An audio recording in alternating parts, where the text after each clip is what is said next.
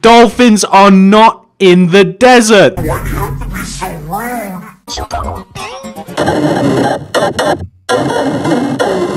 have to be so rude?